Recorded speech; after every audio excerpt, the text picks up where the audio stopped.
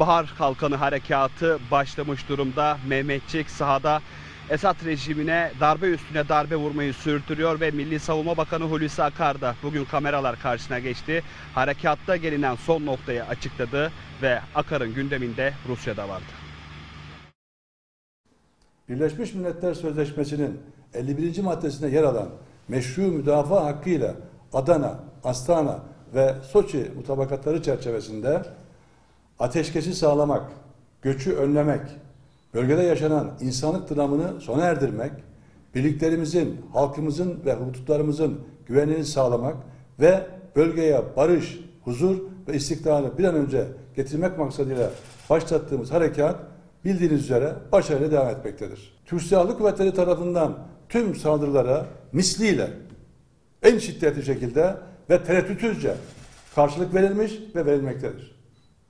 Şehitlerimizin kanlarını yerde bırakmamak için başlattığımız Bahar Kalkan Harekatı kapsamında bugüne kadar iki savaş uçağı, rejime ait iki savaş uçağı, iki insansız hava aracı, 8 helikopter, 135 tank, 5 hava savunma sistemi, 86 değişik cins ve çapta top, obüs ve çok namlu roket atar, 16 tank savar ve havan, 77 adet değişik tip ve cinste zırhlı araç, 9 değişik yerde mevkide mühimmat deposu ve 2557 rejim unsuru ve askeri ekstra getirilmiştir. Biz garantör ülke olarak mutabakatlardan doğan tüm sorumluluklarımızı yerine getirdik, getirmeye devam ediyoruz.